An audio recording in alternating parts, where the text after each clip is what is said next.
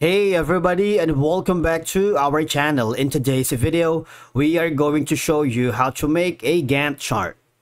Let's begin. Now, the first thing that you need to do is to log in using your credentials. If this is your first time in Lucidchart, I want you to click the sign up option. And from here, just follow the on-screen instructions and you're good to go. Creating a Gantt chart in Lucidchart is a simple process involving leveraging the available shapes and templates. Once you are logged into your account here on Lucidchart, I want you to click the plus icon on the upper left corner because we can start creating a diagram here by clicking the blank document or create from template. Now, if you do that, what will happen is you would be forwarded to the template section. If you wanted to start creating a Gantt chart kind of feel, just type in search all templates, type in Gantt. You see that? It would automatically uh, pop out on the search box. And then from here, you can choose from any of the following. You have the Gantt chart, Gantt chart with quarters, Gantt chart, timeline, Gantt chart with progress bar, go go to market, Gantt chart example, Gantt chart with milestone example, Gantt chart with milestones, and of course the marketing planning hierarchy example. But these are kind of like premium, so you might wanna make sure that you skip this if you don't have the uh, premium plan because it requires a subscription.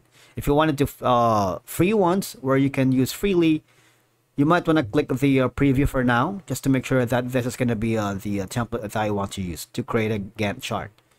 Now here, I'm going to use this very basic Gantt chart click the use button and you would be forwarded to the main dashboard. Wait for it while everything is loaded. Alright. Once you are here, you can rename this. this one, project name. And of course, you can add like an image right here if you want. Go to the uh, section where we can add an image. Click image. Alright, click images. So we have now a fully functional Gantt chart with the image right here. All right.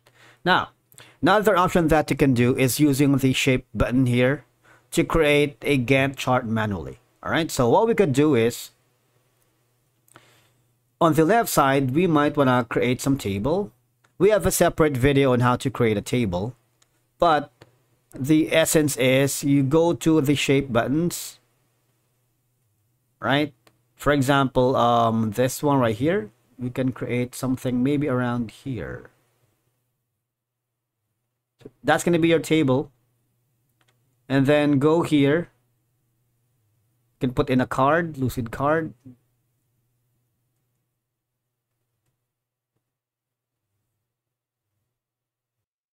Go here, for example, we're going to add a table, add a timeline, all right, when you add the timeline right here and you add some arrow, it's kind of like creating a Gantt chart, right? See that? And then all you have to do is just manually put in the uh, elements together so you can create the uh, Gantt chart manually, right? And of course, you can customize the bars when you go to the board settings,